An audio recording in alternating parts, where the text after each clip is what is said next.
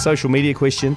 Uh, if you had to hear someone commentating every day of your life for a year, would you rather have Nigel Yalden Justin Marshall, or Brian Waddle? Fuck, that's a great Jesus, question. that is a great question. Uh, well, I'm, I'm, I mean, this is like a shoot, shag, marry situation, so I don't necessarily. I'm, I, I mean, no way. There's no way I could listen to Brian Waddle every day.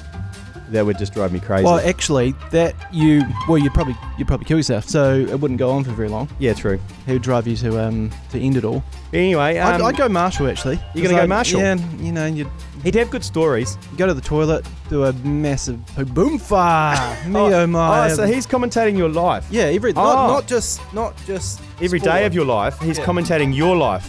for a year. Oh. Anything you do.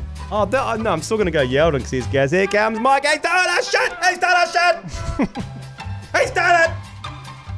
He's, uh, here comes Mike. He's going to wipe his ass. He's done it.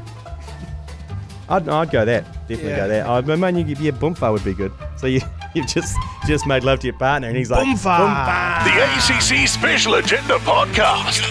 Thanks to the TAB.